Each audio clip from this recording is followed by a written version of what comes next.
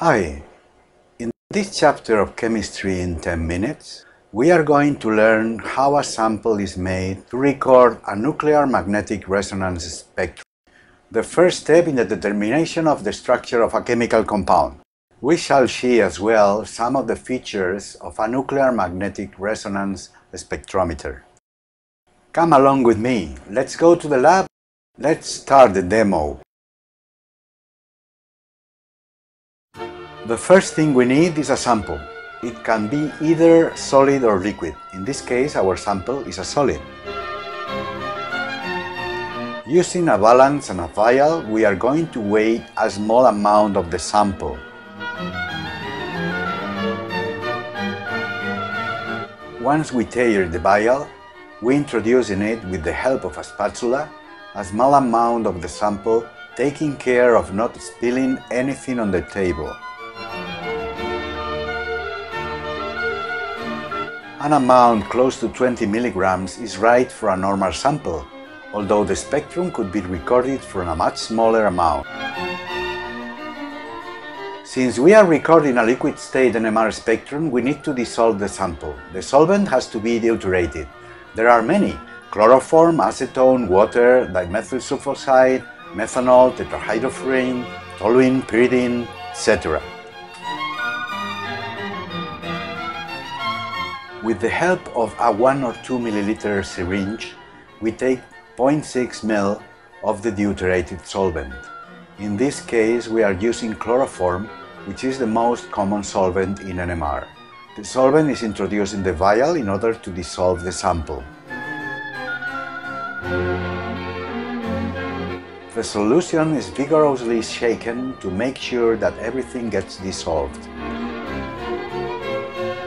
The solution has to be carefully observed to ascertain that there's no solid particles nor any turbidity.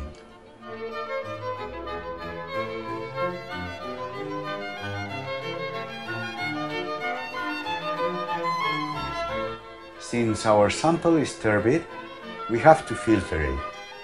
We shall use a Pasteur pipette with a small piece of paper rolled on its tip.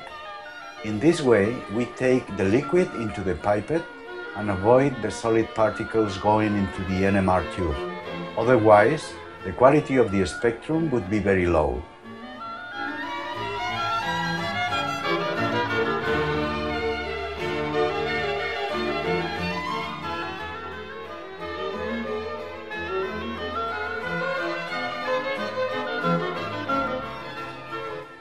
The solution is then transferred to the NMR tube without spilling it. The NMR tube is kind of precision test tube. It exactly has 5 millimeters of diameter and the solution must reach at least 5 centimeters in height. The tube is conveniently stopped.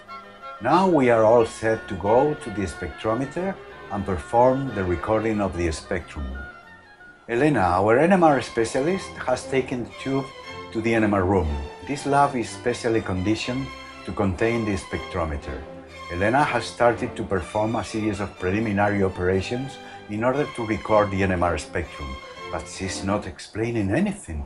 Elena, please stop, go back and show us what you are doing. Thank you, Elena.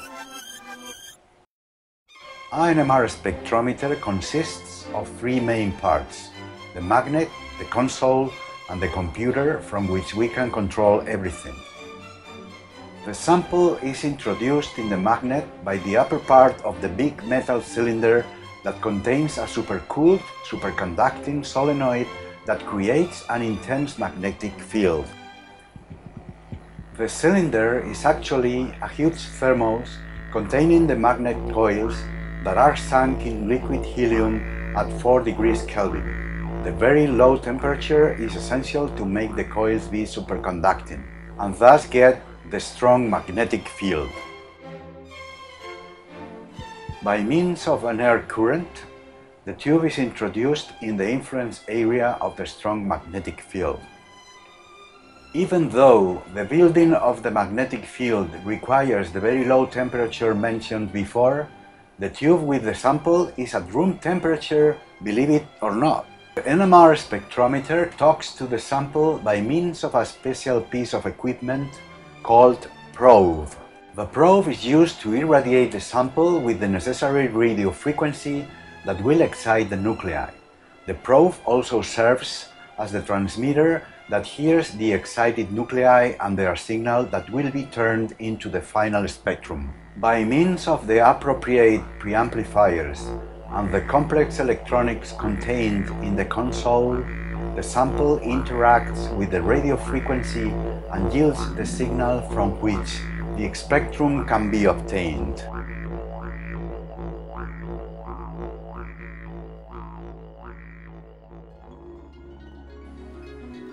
Let's now watch very attentively the operations that Elena started to perform but didn't show us. The clean tube is introduced into a turbine that must be placed at a given height.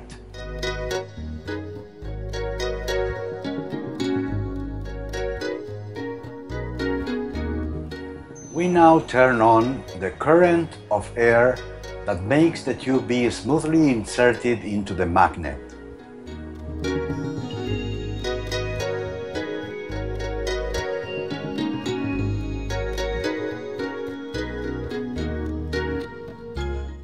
Air current maintains the tube floating in the upper part of the magnet. We now turn it off and the tube smoothly but boldly goes all the way down into the probe. The turbine into where the tube was inserted serves as a rotor to spin the sample. Immediately, the signal from the deuterons of the solvent is received and analyzed.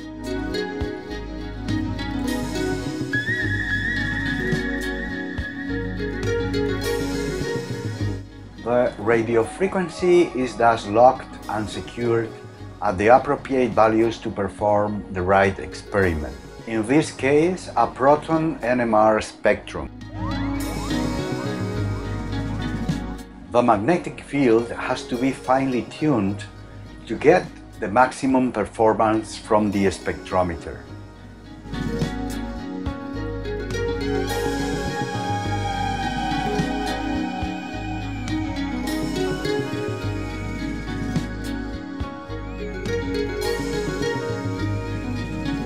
This operation takes several minutes, and one has to be very patient to get a spectrum of the maximum possible quality.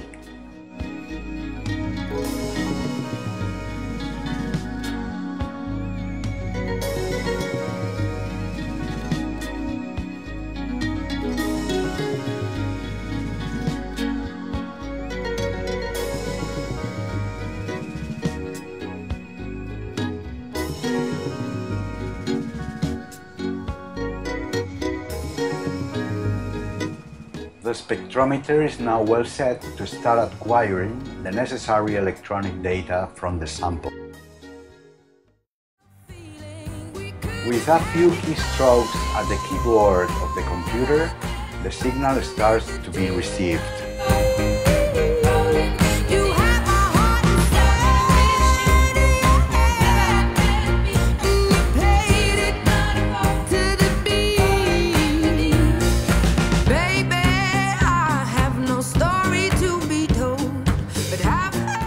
Signal from the sample looks pretty weird and is mysteriously called free induction decay, FID in short. The final FID signal is built from many individual FIDs, in this particular case 128 scans. This is what makes NMR a very sensitive and powerful spectroscopic technique. For very diluted samples, the acquisition may be extended overnight, for instance, with thousands of accumulated FIDs or scans. The final FID is turned into the spectrum by means of a mathematical operation called Fourier transformation that is swiftly performed by the computer. You may finally take the recorded data to anywhere else with a pen drive or by means of the intranet. I hope that you enjoyed this video. Cheerio!